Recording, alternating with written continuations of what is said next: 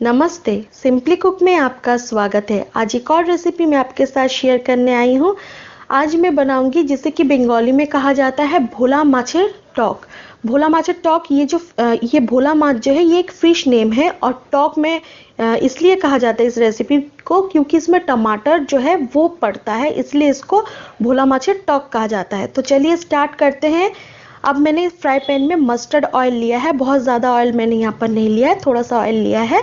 उसके बाद मैंने यहाँ पर सूखी लाल मिर्च को कट करके यहाँ पर ऐड किया है।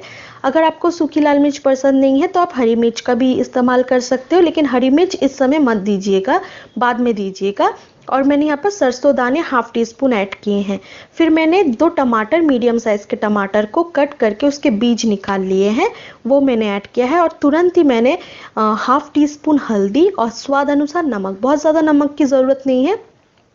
थोड़ा सा ही नमक दीजिएगा और फिर हम इसमें प्याज, एक मीडियम साइज़ का प्याज मैंने कट करके इसमें ऐड कर लिया है।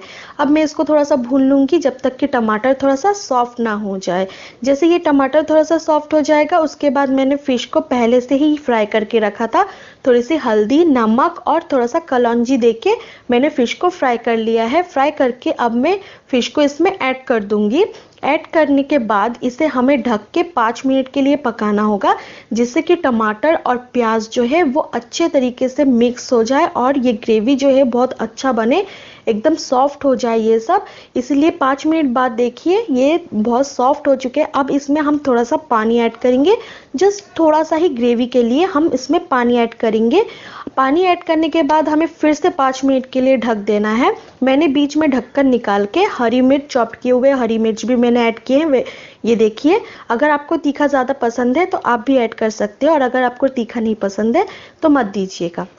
उसके बाद हम इसको थोड़ा सा दूसरे तरफ़ इसको पलटा देंगे देख फिर हम इसको और थोड़ा सा कुक कर लेंगे दो मिनट के लिए, जस्ट दो मिनट के लिए हम इसको कुक कर लेंगे और ये बिल्कुल रेडी है। इसे आप चावल के साथ खाइए, बहुत अच्छा लगेगा। आज का ये वीडियो बस यही